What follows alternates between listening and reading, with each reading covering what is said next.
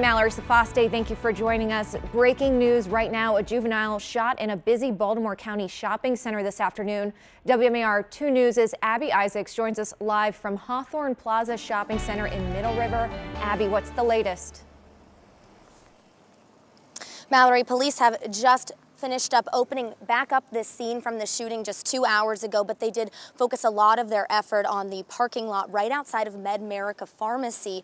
That is where people who were in the shopping center at the time say the shooting happened, and then the victim made his way over to Geresbeck's food market to ask for help. Now, at 4.15 this afternoon, police got a call about an assault with a gun in the parking lot of this shopping center. The juvenile was suffering from at least one gunshot wound and was taken to to a local hospital. Area businesses say their employees, they told their employees to shelter in place and they closed early once police started investigating. Now I spoke to people who live or work nearby who said they've been worried about their safety in the shopping center recently and this was a scary thing to be there for.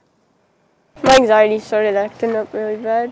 Um, tried not to overreact, try to keep calm for people. Neighbors say this is the third shooting in this area in the last few months, and they're begging police to intervene and increase patrols. Now, Baltimore County Police tell me they are very early on in the early uh, in the investigation, but violent crimes detectives are investigating, and we'll keep you guys updated on our website, WMAR2News.com. For now, live in Middle River, Abby Isaacs, WMAR2 News. Abby, thank you.